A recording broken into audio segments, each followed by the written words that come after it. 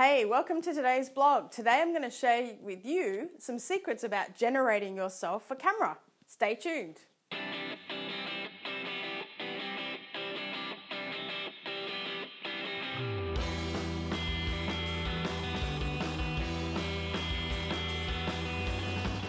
I want to share with you some secrets about presenting for camera. Now, when I first started presenting and being in front of the screen instead of directing, the first thing I noticed was that if I just started to be talking to you just like I would normally, I would appear quite flat on camera.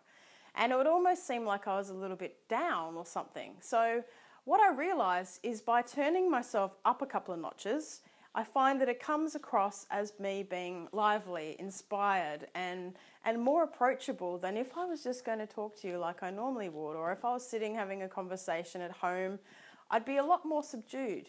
But you know what? Generating yourself for camera isn't a bad thing. It just means that you're turning it up a couple of notches, a little bit like makeup for camera.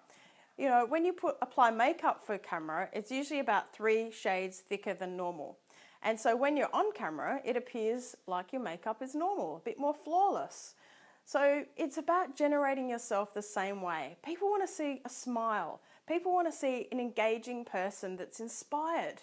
You know, when you go to a party and you speak to somebody at a party, and just cast your mind back to what that person was like, you know, that inspiring person that, that had things going on in their life, that was really excited to talk to. Weren't they enrolling? Weren't they excited? Didn't they capture you because they were excited and passionate about what they were doing? Well, that's exactly the energy that you want to bring to the screen. So, next time you're on the video screen, have a think about when you were at a party last and have a think about the inspiring person that you were talking to at that party and what they were like because that is the kind of thing that you want to step into when you're being on camera, okay?